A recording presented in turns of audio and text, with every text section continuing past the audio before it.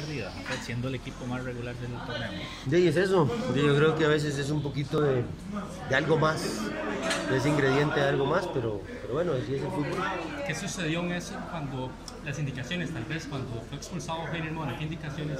No, y nosotros tenemos un estilo, nosotros abrimos la cancha, nosotros generamos el mano a mano por afuera, por ahí tal vez no fueron los- la- las mejores decisiones que tomamos, pero, pero me parece que sí se le sacó provecho a, a ese hombre de más porque metiste a esa prisa en su media cancha, lo, lo moviste, lo atacaste por afuera, por adentro, y por ahí tal vez un poquito de profundidad a la hora de definir la última jugada.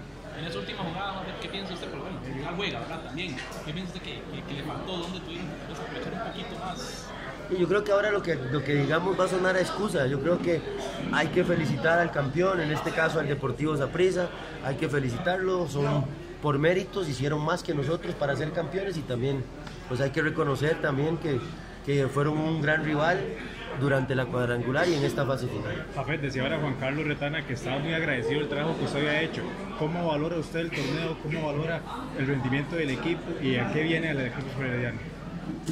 Bueno, nosotros tenemos un proyecto y no es un proyecto de 5 años, es un proyecto de 30 años. Este, ese, es el, ese es el proyecto que tenemos en, con, Fuerza Herediana.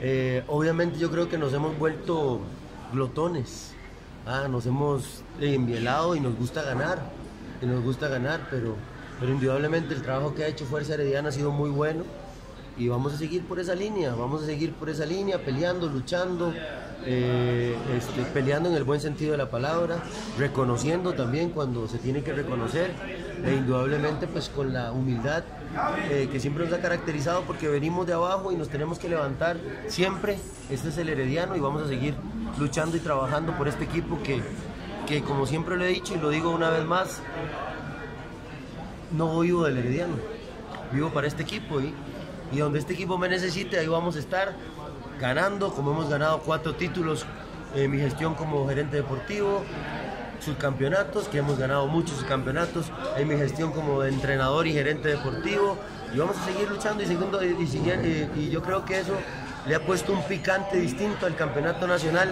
de mucho tiempo para acá, de mucho tiempo para acá, y téngalo por seguro que Herediano eh, va a seguir peleando y luchando. ¿Qué mensaje se le para la afición? Yo creo que lo que se le diga a la afición en este momento sale sobrando. Cada uno lo digiere como quiere, lo pasa como quiere, da la opinión.